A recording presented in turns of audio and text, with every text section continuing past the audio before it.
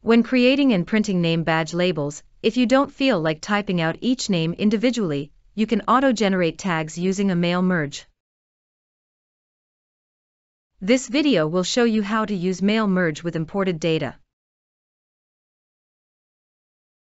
You start by selecting your name tag label size.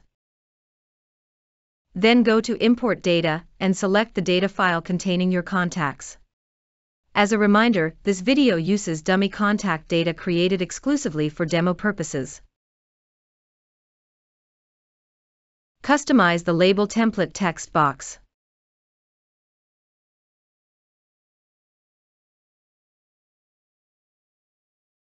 We want each person's first name on our name badges.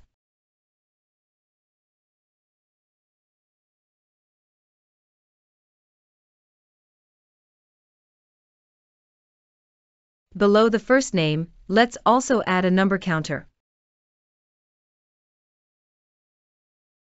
Click on Import when you're ready to auto-generate labels.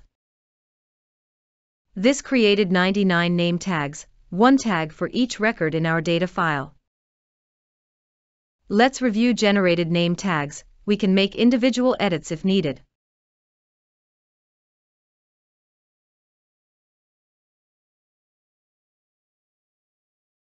To render our number counter, go to Automation Tags and click on Render Tags now.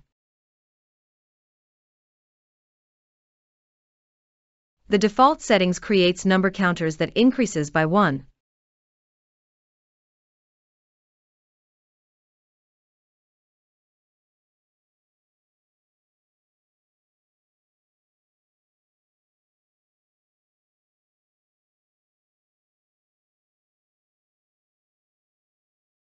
Click on Print when you're ready to print the name badges.